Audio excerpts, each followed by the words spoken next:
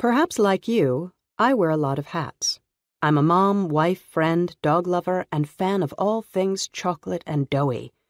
I'm also a psychic medium, intuitive counselor, and spiritual teacher. As you might guess, the primary reason people seek me out isn't for my pet or nutrition advice.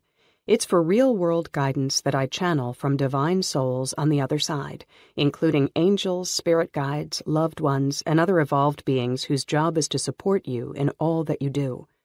I refer to these groups of celestial helpers as our universal teams, and they know quite a lot about what it takes to live your best life, whether that means healing a broken heart, finding a job that aligns with your passions, or overcoming a past that holds you back. They're intent on helping humanity live in a way that feels good and true to our souls. Now, what if I said that you too can connect to your team's wisdom and guidance, and that all it requires is to engage three powerful steps that will raise your intuition, connect you to God's energy, and set change in motion when you feel stuck or blocked? I refer to this process as believe, ask, and act, and this book will show you how to use it.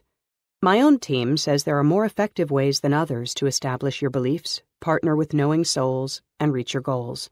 These differences determine whether you face obstacles at every turn or follow a smoother road to joy, growth, and learning.